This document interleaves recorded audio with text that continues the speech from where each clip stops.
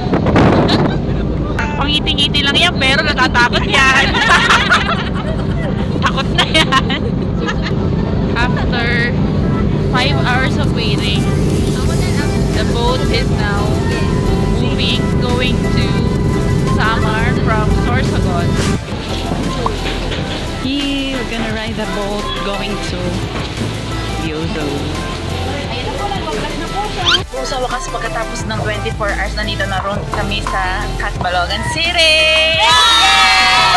Ito po ako'y hagas na hagas na. Diyos ko, ere pa rin suot ko simula kahapon. Kakabahan pa ba ito? Baho ka na. Ha? May ano, may dalan na ano. Pilipinas pa rin ba ito? So, from kahapon naman is kami sa Maynila ng 3 p.m. Dumating kami dito sa Catbalogan City, Samar, ng 4 p.m. Gets? Pero mag, ano pa kami, boat going to island for 30 minutes lang naman. Sana lang makayanin kami ng boat na ito. Ano? Pero parang ang ganda ko pa rin. No? Kahit 24 hours na akong hindi naliligo. Kami, fresh Kami po ay makikipamiesta doon ang aming probinsya sa Samar. Ang iingay, bala kayo dyan. Dito ka na sa iyong lupain. Mahihain ka. Para magko-subscribe sa akin yung mga operator mo. Dali na. Hindi mag-ano. Pagkakaate. Ayun. Kaya lang, masaya. Kakasor.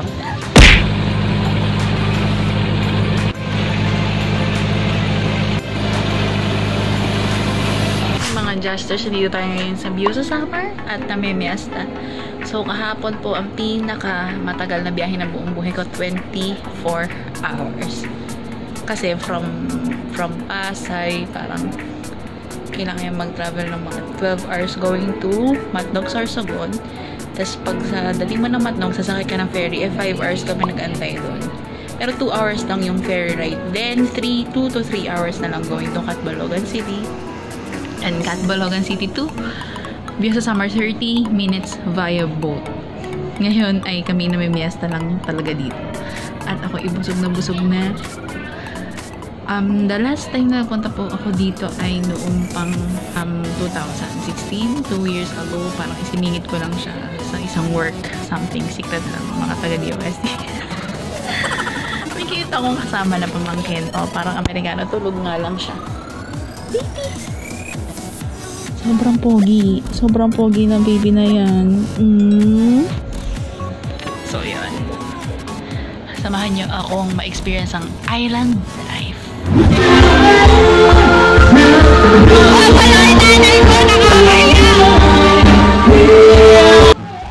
Noong gabi bago yung araw ng fiesta, meron tinatawag na sarayaw kung saan yung mga um, yung mga tao sa barangay, sasayaw sila.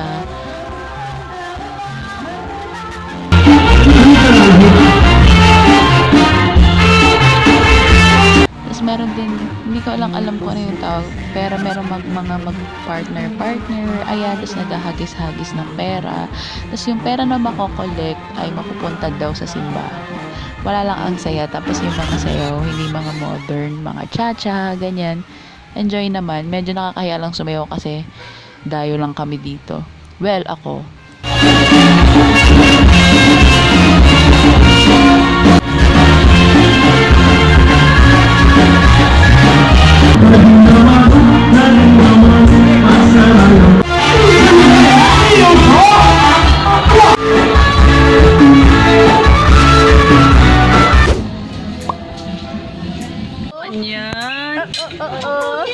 Kelvin. Kiss me, baby. Nakita na Kelvin niya yan. Nandito kami sa cementerio. Dinalaw namin ang aming lolo. Sige, pilit na vlog. Hi. Hi, Lolo Pinoy. Hi, Bioso. Mag-shoutout ka sa mga kapitbahay mo sa ano. Ah, kamusta mga kapamilya ko sa Cavite? Masaya dito sa da, sa Bioso. Di na Mga taga Batangas, San Tomas. Di na ako uuwi. Di na ako uuwi. Patay ka sa asawa mo. Patay ka sa asawa mo.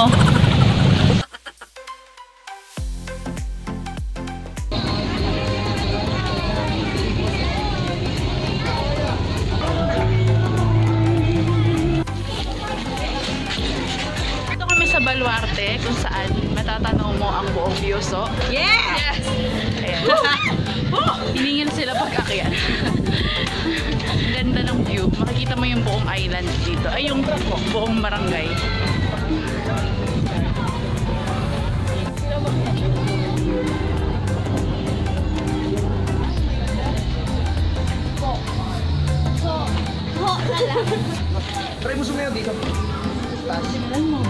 Ito ang pantalan kung saan dumadaong ang mga bangka. Dati, tanda ako, ay dito lamang po may signal. Ngayon marami ng mga parts ng island yung may signal. Ganda.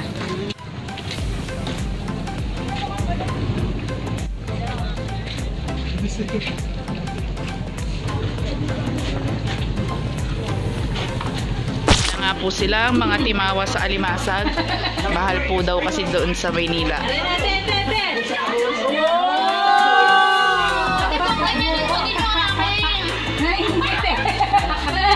Uy, paano to? Hindi ko matanggal ang tali. Kayo tapos na ako, hindi pa.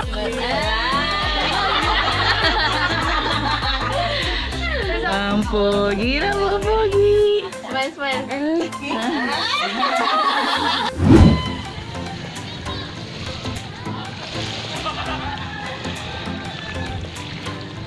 Ginagawa niyo. We're like, we're like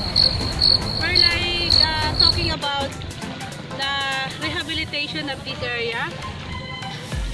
That's why we're here. Hindi tumakbo ka dito, kapitana. We're talking about not Walang signal dito kaya po tumatambay kami dito sa dagat para ma para makapag-internet.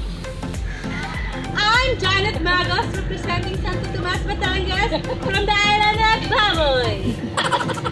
Syunga. Naku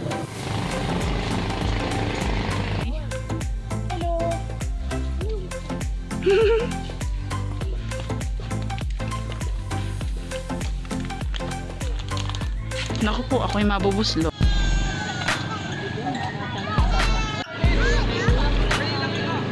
Ano?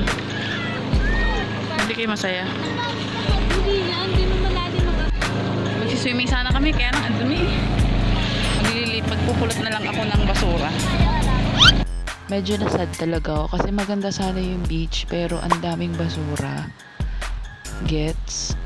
Eh yung dagat, doon naman kinukuha yung panghanap buhay ng mga tao. So, wag naman nating sirain, wag naman tayo magtapon ng kung ano-ano sa dagat. At kung kayo din, kung mga nagta-travel kayo, try din natin na mamulot ng basura, magbawas kahit konti. Hindi naman ako super zero waste living person, pero I'll try to reduce my waste. Sana naman wag naman natin itapon yung mga kalat sa dagat or bawasan natin yung paggamit ng plastic. Yun lang.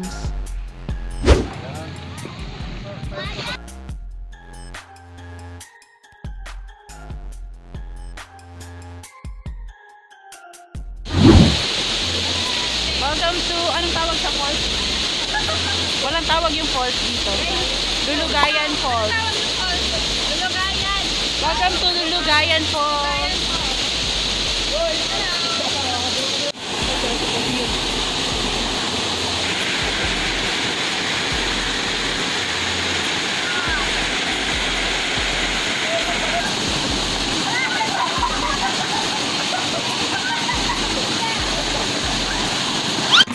Kain tayo ng seashell by the seashore.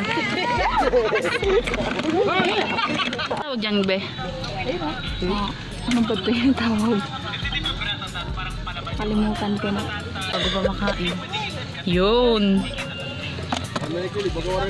Yeah.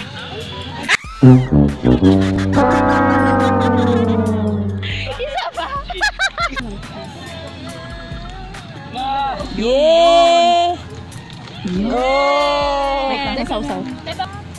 Ngalay na ako. Ngarang karangan ba ito? Naman kami sa balay.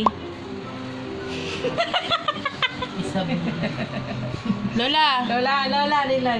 nagbablog man ako. Say hello! Hi, Lola, hi. Lola, Video man, Hi. Video. Man ito la, video man. Video man, video. Nagpapahinga, katatapos lang magkape. Di magbisaya man, magbisaya man. Ah, katatapos lang namon magkape. Kaya uh, adilaanay kami, nag-iistoryahan ng amon lola. Kumaon man kami ng karan on Kumaon man. kami hinmuron. Muron, ngan tinapay. Nga, karanon, karanon nga. Karanungan Ah, karanon. is tinapay. Ah, oo. Ano lola, magsiring magsalita ka, magsag mag ano ka. Magsiring man lang ako uyab. Hijas, hijas ito nga nagbibideo. Oh, ako uyab sabi siring eh. Eh, singat in, ay, ay, anuhan mo ni iya uyab. Magsiring kan iya uyab. Hijas. Diya, sa mo yung pag kuan na ganina, hindi malalagas ka na. Ta-translate ko yun. Ah, Matatumatanda na daw ako. Ah, Base ako makakita na. Makita ng apuban. Bisan na kuno niya maapuha pan iya apo nimo tikan kanjas. Di ba Lola? Oo. Kay ma doon si Jess, mapili manin mga uy. Mabili man lang sa mga uyab. Andun na binigay ko na. Babay